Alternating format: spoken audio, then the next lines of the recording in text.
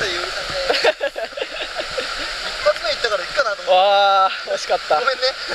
いやいや。あ終わった。あここいなかった。え？何ですか？こい。おいなかったっす。あそこで多分そこ入ってほしいな。恋パクってあれぬるんって。ぬる嫌だなそのぬるんってやつ。ぬるん。ぬるんってやつやだいや焦ったね。いやあれは。意外にいいとこであのあっち行くとかれで行っちゃういけるかなと思ったんだけど。とりあえず。でもあそこねああみ結局走ってきて見てないっていうボールボールを追っかけてきて見てないっていう行ったのに。本当に。一番の目的忘れてるってね足に入れちゃったからどうでもいい。確かに。で汗もかいちゃった正直どういたしまして一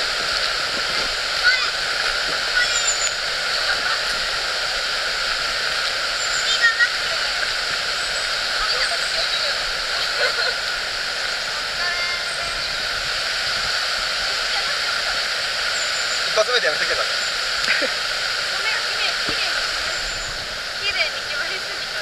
多分音声は入ってるから大丈夫だよタイトル「キメイに」